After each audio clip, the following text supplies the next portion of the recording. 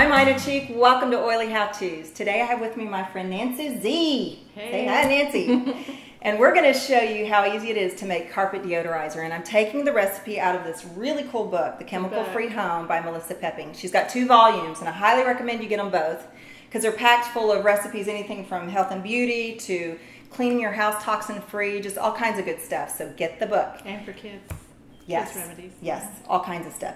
But for this particular recipe, in our home, we don't have a lot of carpet. Mm-hmm. So I have maybe two rooms that have carpet, and I don't want to make the full blown recipe because, you know, I just have a lot and it would take me a while to use it all. So I'm cutting this recipe in using one fourth of what it calls for. So it calls for two cups. We're going to use a half a cup.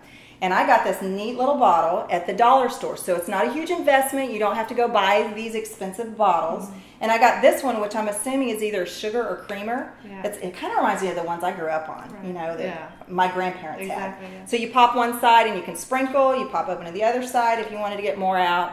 Um, and for this one, we're going to go ahead and cut the recipe, like I said, in, and use a fourth of the recipe. So we're going to use a half a cup of baking soda.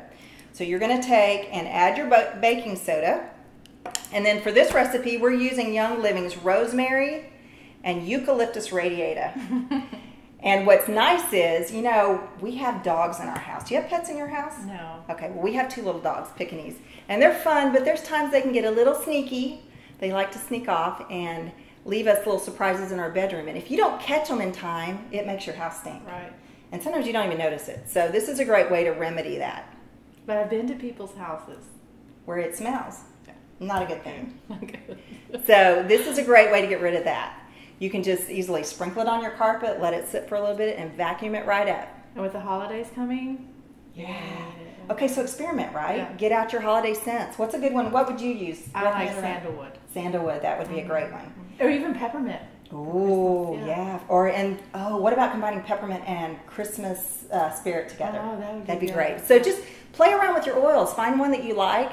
You know, for Thanksgiving, what about like ginger and mixing that with something, Mm, Yeah, right? yeah. Smell your oils and see what you like together. Use that in the recipe. Okay, so we're going to add the half a cup of the baking soda. So you'll fill that in your jar.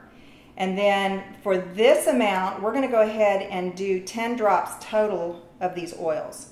So we're going to do five of the eucalyptus radiata, Okay. and then we'll add five drops of the rosemary. Okay. And then once you have that in there, just shake up your bottle, let it get into that baking soda really well, shake it, and shake it on your carpet. Right. Vacuum it right up, and you are good to go. That was easy, wasn't it? easy. Was it fun? Done. Good. okay, I hope you found this beneficial. If you have, please feel free to share it to share it to the world. Let's get those carpets smelling good. And if you haven't liked my Oily How To's Facebook page yet, be sure and do that as well as we're updating re- uh, videos regularly. Until next time, we'll see you then.